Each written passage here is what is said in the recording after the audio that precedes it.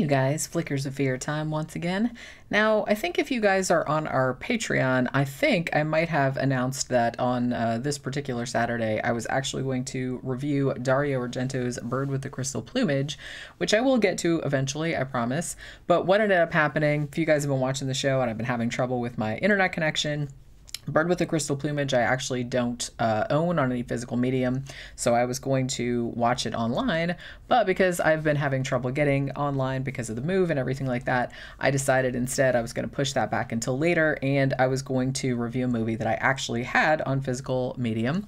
So that's what I decided to do. So today we are going to talk about a sort of lesser known Lucio Fulci film that not a lot of people kind of talk about, but for some reason I have a lot of, a really lot of affection for. I don't know, there's just something I really like about it.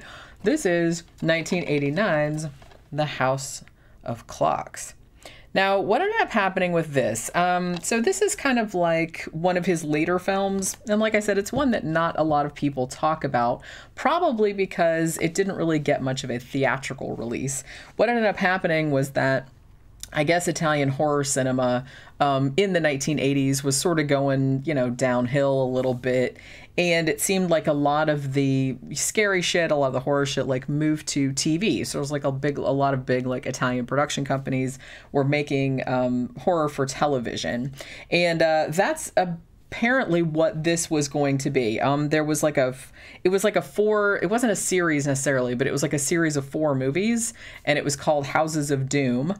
And two of the movies were Lucio Fulci's movies, and two of them were by um, Umberto Lenzi. Uh, Umberto Lenzi's were, I believe, House of Lost Souls and House of Witchcraft. And the two Lucio Fulci ones were The House of Clocks and Sweet House of Horrors, I believe was the other one, which actually I don't think I've ever seen. I've seen most of his movies, even like his lesser known ones, but uh, but I have seen The House of Clocks, and there's something I actually kind of really dig about it. It's very funny to me that this was made for Italian television. I don't know. I'm pretty sure it aired. I think that this movie only got a theatrical release maybe in Japan. And I think it was like really hard to get hold of in the United States uh, for a while. Like I got this DVD like uh geez, a long long time ago and I can't even remember like what company put this out. But for a long time, like in the U.S., it was kind of hard to get hold of just because it was made for television. It didn't really have uh, a wide theatrical release uh, anywhere on Earth, really, other than in Japan, as I mentioned. And I think that's kind of a shame because even though obviously like Lucio Fulci's later films, and we're talking about like Aenigma, Demonia, stuff like that. Um, I, I kind of feel like they went downhill in quality a little bit, but I still think they're definitely worth watching. And I think that the funny thing too is that I was going to say was that it's funny to me that this was actually made for Italian television because I'm like, wow, Italian television could get away with a lot more than American television could have at the time. This is like 1989, and uh, this is uh, the House of Clocks is like actually pretty pretty gory. Not, I don't think it's quite as gory as like some of his you know earlier shit like the you know the Beyond or City of the Living Dead or whatever but it does have a really lot of blood and a really lot of uh, gore in it, and it's just like funny that they would show that on television.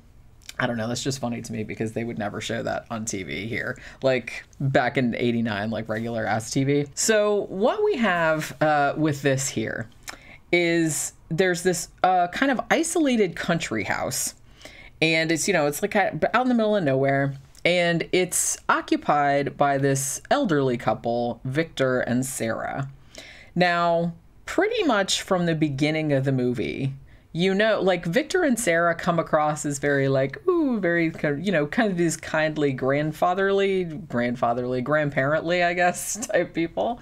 So they come across like that, but pretty much from the jump, you know that this is not really who they are because even in the first few minutes of the movie, you see them doing like some pretty fucked up shit. Now, one of the first fucked up things, actually, the opening scene is their maid or their housekeeper, Maria. And she sees, she's kind of like creeping through the house doing whatever she does. And she sees like blood all over the floor. And so she follows this trail down, and there's down in the basement or something like that, there's like a chapel down in there. And she opens the chapel door and she sees uh, a man and a woman in like wedding clothes, and they're laying on these, you know, coffin, not coffins really, but just kind of slabs really in this chapel. And they have like these big, huge, um, like nails like driven into their necks and they look all rotted and gross and everything. And then Maria is just kind of like, what the fuck is going on here, right? Because, like, as you would.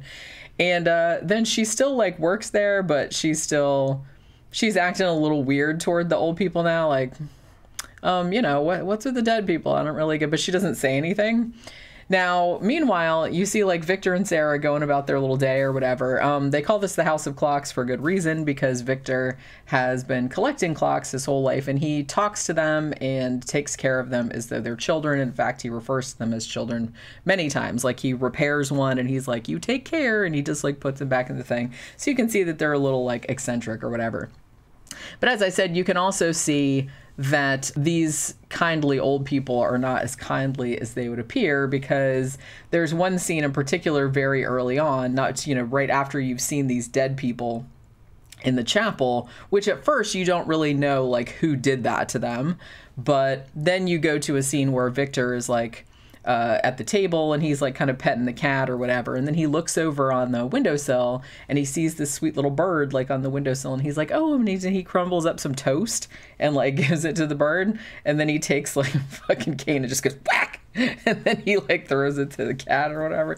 So you know these kind of uh, you know aren't the coolest people ever. And then later on, you find out like a few minutes later, you actually find out that Victor and uh, Sarah were the ones who killed the people downstairs in the wedding clothes. These were their I think it was their nephew and their nephew's wife, and you're led to believe, at least from Victor and Sarah's point of view, that the nephew and the wife came to live in the house, but were ungrateful, like were ingrates. All they wanted was their money, and you know all this. Like I said, I don't know what really happened, but that's what uh, Victor and Sarah. That's how they interpreted it. So they decided that they were gonna kill him and just put him down in the in the chapel and just kind of keep them down there for whatever reason. And uh, I guess the nail in there was supposed to keep them from coming back to life or something like that. I don't know. It's not entirely clear.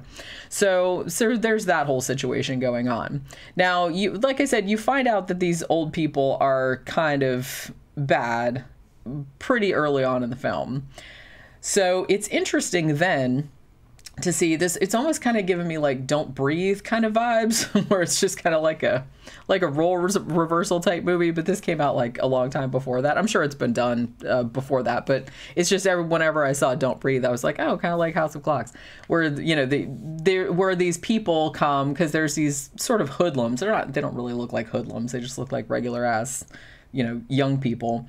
But it's uh, two guys and a girl. And i guess tony and diana are like boyfriend and girlfriend. And then there's like the third wheel whose name is paul who's kind of a dick. So they're driving around and you can tell that they're dicks like pretty much right, right away because they stop at this supermarket and like she goes and distracts the shop owner with like looking i really want this kind of underwear or whatever while the dudes like kind of steal the dude blind right? Like steal like fucking pork rinds or whatever it is they're stealing. Potato chips, mixed pickle. I think he says what what they took. But uh, yeah, so they're stealing a bunch of stuff. They're smoking pot, and uh, and then they find this is kind of fucked up. Um, they find a kitten in their car, which is I guess like stowed away while they were in there robbing the store. And Paul decides, hey, I'm gonna put this kitten in a plastic bag and then we'll see how long it takes me to get out. It's like, hey, I'm giving you a fighting chance, little kid. I'm like, all right, kill that dude. So you already know these people are shitty. So apparently, what happened was that Tony or Paul, I can't remember, but one of them knew the daughter of the gatekeeper at the house where Victor and Sarah live. And she's like, hey, there's these, you know, decrepit old people. There's like, there's nobody there except them and their housekeeper and um, they have like all of this really cool shit in their house. Like they're really, really rich. They have like all this silver and gold, and there's all this stuff, and you can just like break in and take them out and just like take all the stuff. So that's what they're planning to do. They're driving out to this remote location, and they're going to just break into the house, overpower the old people, and take all their shit, you know. So that's kind of their plan for the day. So uh, what they do is that Diana, she kind of goes up to the door and oh, I should mention too, before this even happens, not only do the old people kill the nephew and the wife, but once they figure out that Maria, their housekeeper, has figured out that they killed them, then the old lady, Sarah, decides she's going to kill Maria too, basically by stabbing her right in the cooch with the big uh, pole, the big wooden pole, and all the intestines come out. It's pretty, it's pretty gnarly. So, uh, so yeah, so they have several murders on their hands, and they're just very.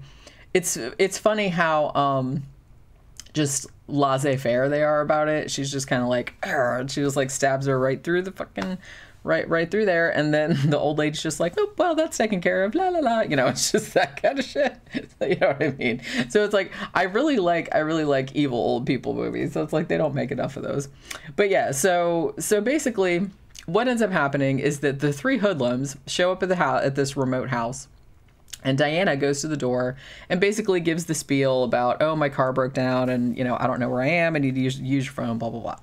So the old guy is just kind of like, oh, okay, of course, of course. Like, you can come in and use the phone. And he wants to, like, make her a plate for dinner and everything like that. And he's being really nice uh, to her. But meanwhile, she's kind of like unlocking windows and signaling to her, you know, to her fucking degenerate friends, like, to break in there and do it. Now, what ends up happening after that, though, things go wildly awry, not at all like they planned. Uh, the two guys break into the house. One of them has a toy gun that they stole from somewhere.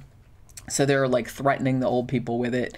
Uh, what they didn't know, though, was that um, there was also another person on the grounds whose name is Peter, played by Al Cliver, who's been in a bunch of, uh, I believe he's a British actor, but he was in a bunch of um, Lucio Fulci's movies. He was in Zombie and some other ones. And uh, so he plays the groundskeeper who only has one eye for some reason. I'm not entirely sure. I don't think they ever. I, I, don't think they ever explain like why he only has one eye, but he does. So he basically like pops in with a shotgun and like intervenes, and there's a struggle. There's a big fight and everything like that, and then it ends up that one of the guys gets the jump on Peter, knocks him over. Peter's gun goes off, and actually ends up killing Sarah. So at which point Victor, the old guy, gets really pissed off and he starts like fighting with the other guy, and then the other like one of the other hoodlums like picks up the gun and shoots the old guy. So now, uh, and the, then they also shoot uh, Peter and kind of stuff him in a closet. It's interesting. I really like this part of the movie because you're kind of led to believe it's like, look, you know, the old people are bad because you've seen them kill several people and an innocent little bird, like in the first like 10 minutes of the movie. So you already know they're bad. And you already know that the hoodlums are bad, obviously, because they've stolen a bunch of shit and they killed a cat that they didn't even really need to kill and they're just like general douches all around.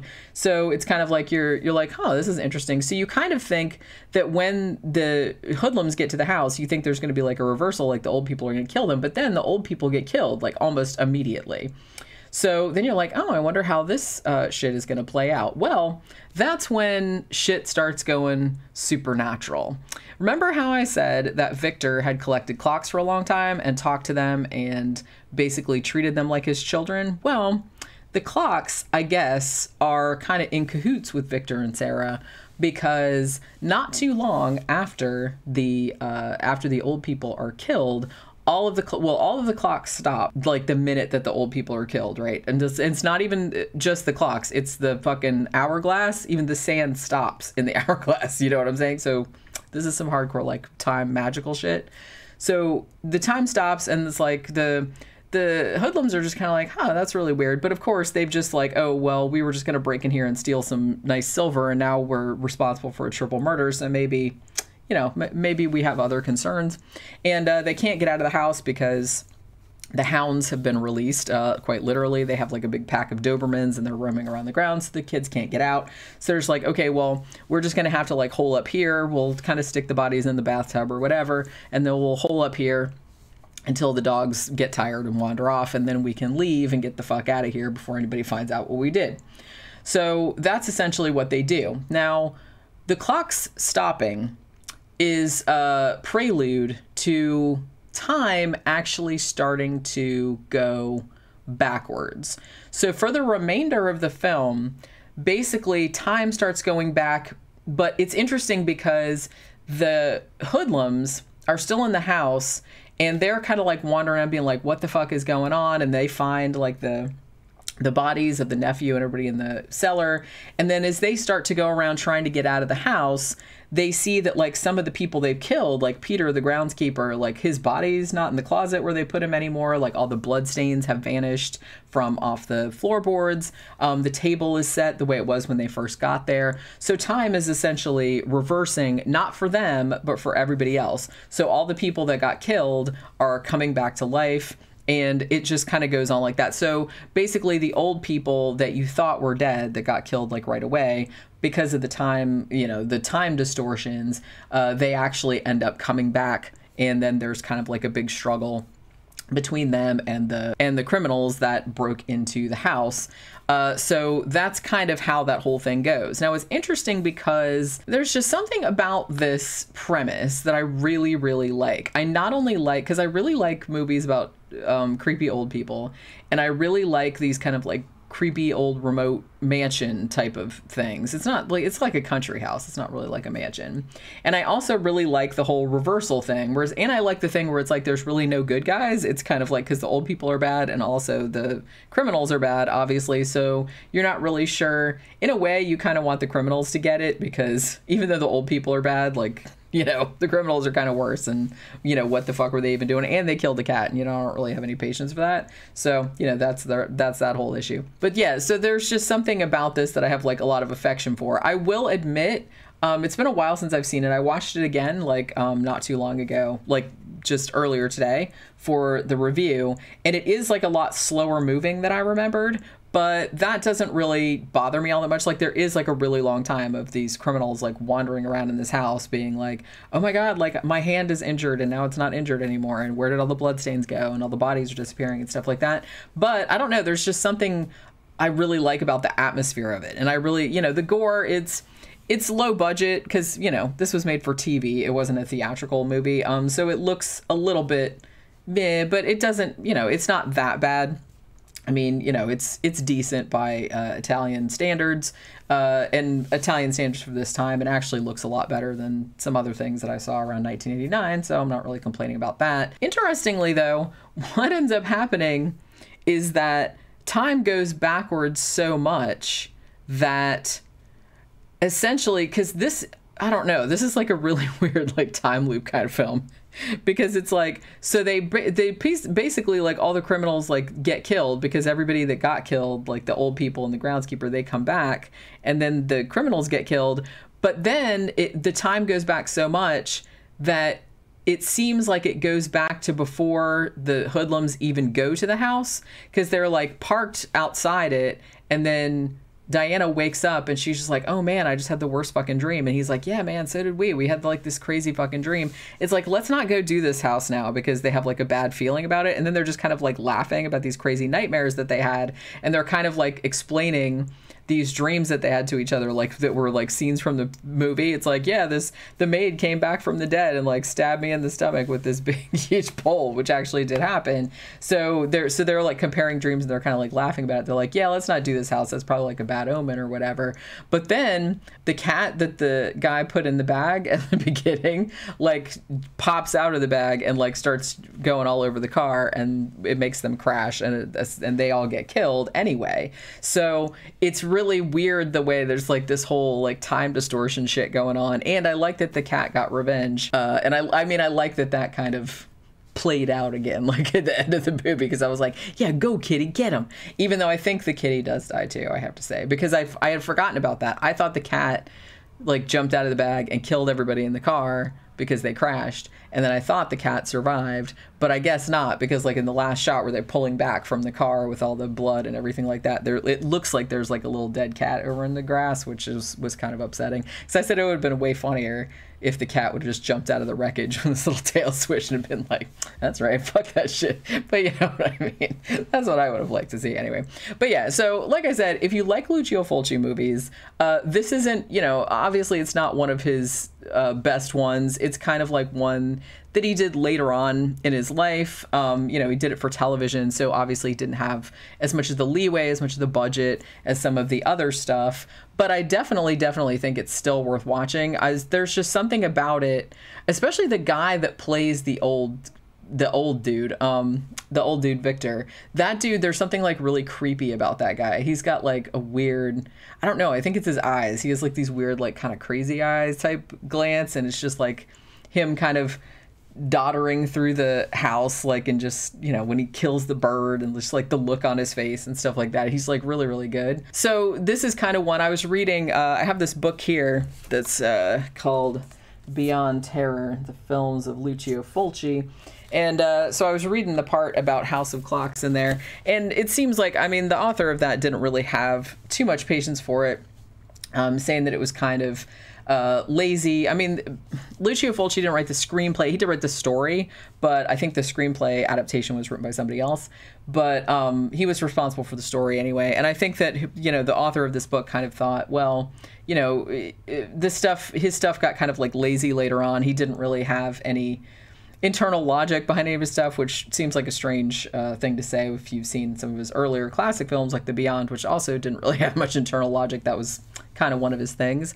But you know, it, it pointed out things like, oh well, you know, the the way the time distortion is working is not consistent. Like um, you know, Diana gets her hand stabbed by the old lady, the like st- hand stab through, and then it heals like a couple minutes later. Meanwhile, Paul, who gets shot in the chest, like his wounds don't heal that fast.